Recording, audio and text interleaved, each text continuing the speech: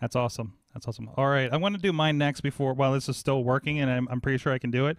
Uh, my awesome thing is this little drone is a Tello drone. It, it, it says it's got DJI and Intel technology in it. I don't know what that means. It's by a company called Ryze, uh, R Y Z E.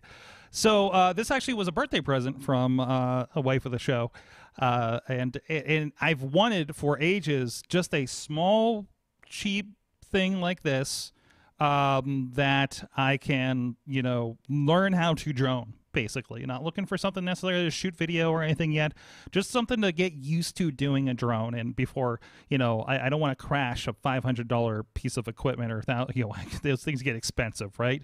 Uh, you know, plus cameras and gimbals on it. So this thing is so simple. You throw the battery in there at Bluetooth. It does have a camera, and then it controls by your your your phone. You connect over Wi-Fi, so the range isn't going to be that much okay and the video streaming is uh, only what you record to the phone over the wi-fi so it's not entirely a lot that you want to do but uh, it's pretty nifty um, so here we'll just uh, go ahead and whoa there it is there it is if you guys are on video hanging out and uh, it, it works pretty well and uh, when you're when you're done with it it'll land right on your hand boop Oh, dope! I love like it. that.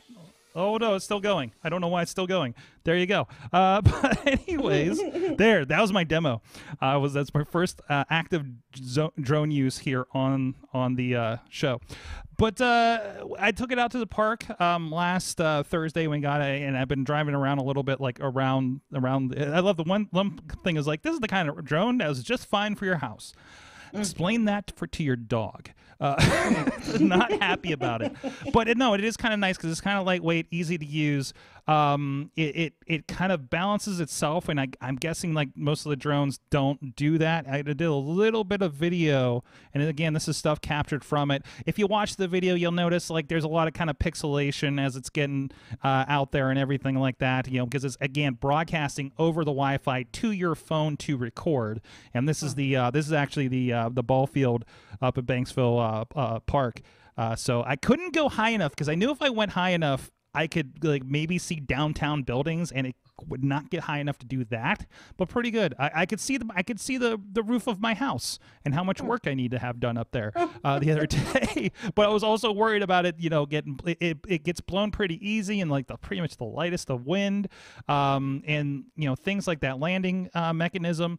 Um, it's really good just balancing and staying in place because it's got two sensors on the bottom so that's where a lot of that's going. You, you probably see that blinking on the on the video there.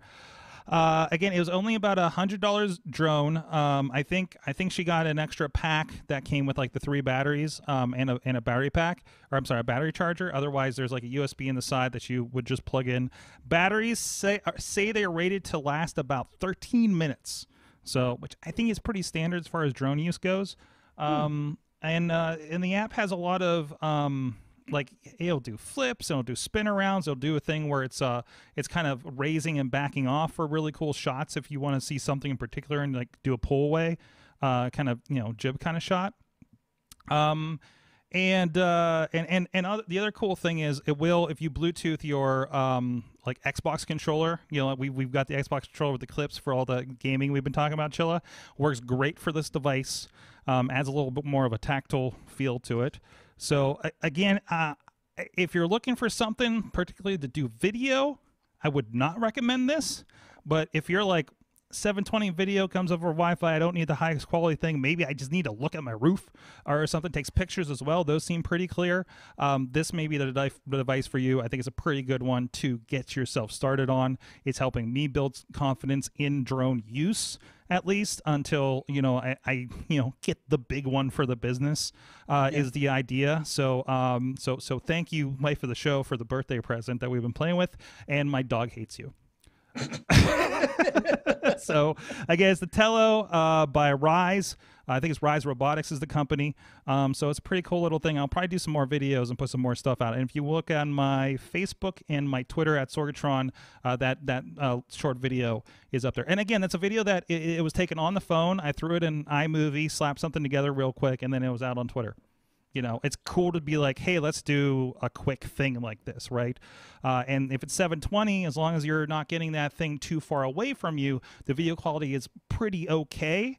Um, so that's a little little bit of tips tips for, between that and like I, I was look, looking at uh, videos online of other people reviewing it, and their video looked a lot better. And I realized all they were doing was just circling themselves, and so it's going to have the strongest thing.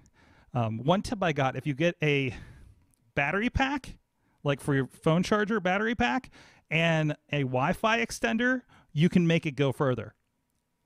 But probably not recommended because then if you get too far out of range, you can't see things. so, so that was a little little bit of a hack, I guess that uh that they had out there. I might try that out at some re- some point too. So there you go. That's my fun fun toy. Uh, so I, I, Hmm? I thought it was cool on their site. They're showing, and I'm interested to know how it would work. It, it'll work with a VR headset, so it can be like you're flying in the drone. so so I'm not clear if it if it was supporting flying with VR or if it was um, like you can go back and watch the videos. I thought in VR.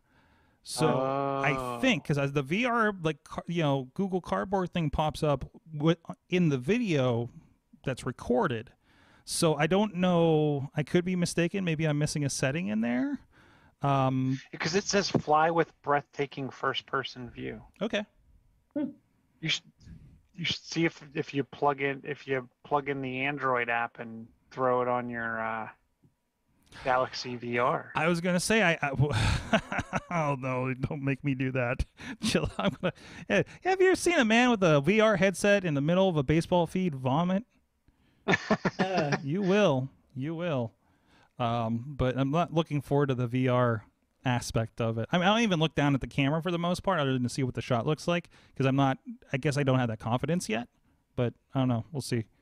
Again, Have you have you seen the people that race yeah, yeah, like no, the drone and they wear they wear the VR goggles and they're like high speed racing those things around old malls. I mean, Yes. it's pretty cool. Yeah, yeah, that's that's the dream. This guy, I mean, I mean, like, if we could, hey, they're affordable. If you want to do just a really cheap, you know, throwaway drone racing league, like that's kind of what these are good for. You could buy like ten of these for a thousand bucks and go for it, right? just burn them out. yeah, there you go. So it's it's like the demo derby of uh of drones.